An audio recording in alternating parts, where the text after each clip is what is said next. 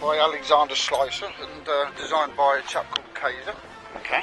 Um, the controls that you've got in the front and in the back, you'll be sat in the front. Okay.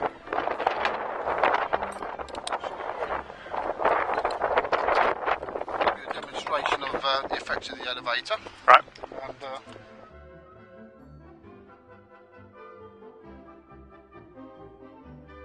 I'll uh, show you.